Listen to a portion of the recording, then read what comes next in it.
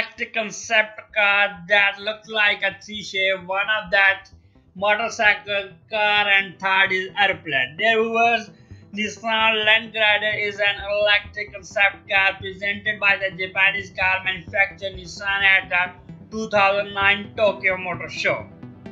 Land Glider, a narrow track vehicle, looks and feels like a mixture between a car, motorcycle, and an aeroplane. Rear view mirrors have been replaced by camera amenities.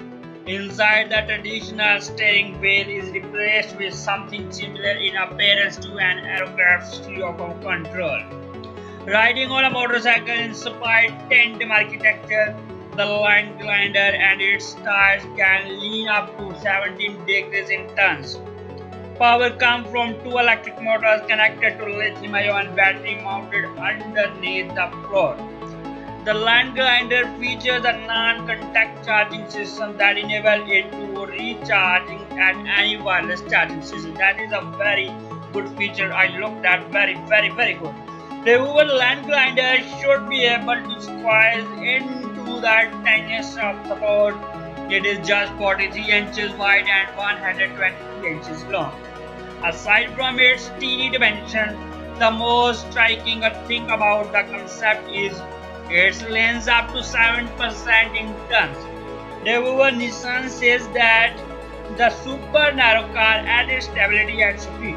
Exterior of the vehicle incorporate a soft, sleek looking body that appears to be protected by special arm and while it is very mechanical in its nature. The Hoover four-wheel boasts a dynamic body design that almost seems alive. As a part of Nissan's expanding zero-emission family, the Land Glider exudes a clean, friendly attitude. The Hoover Land Glider features steering by wire and learn capability when turning. Like a motorcycle that enables the vehicles and its tires to lead by up to 17 degrees. It may be the 45 degree plus of a sport motorcycle but more than enough to have safe low speed fun while driving to work.